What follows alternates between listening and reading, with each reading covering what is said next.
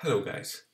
Today I want to show you how to display the first message you've ever sent to one of your friends on Facebook. Let's go!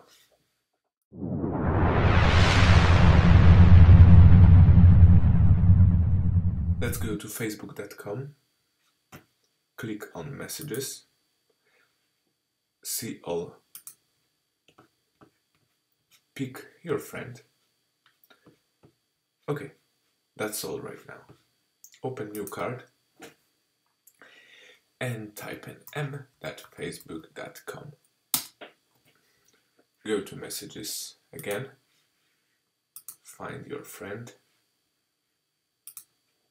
right click on see older messages, open link in new card. This card can be closed. Okay, now focus on this area you have to replace start equals 7 with number from here 4091 so it should look like start equals 4091 enter. And we went back in time to October 24th of 2013 still there is a see older messages button because we went back by 4091 messages.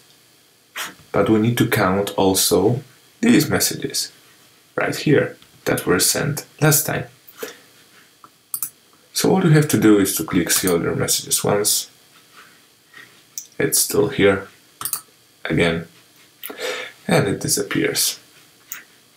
This message is the first one I've ever received from my friend. So I hope that it is understandable for you. Please subscribe, like and share. Thanks for watching.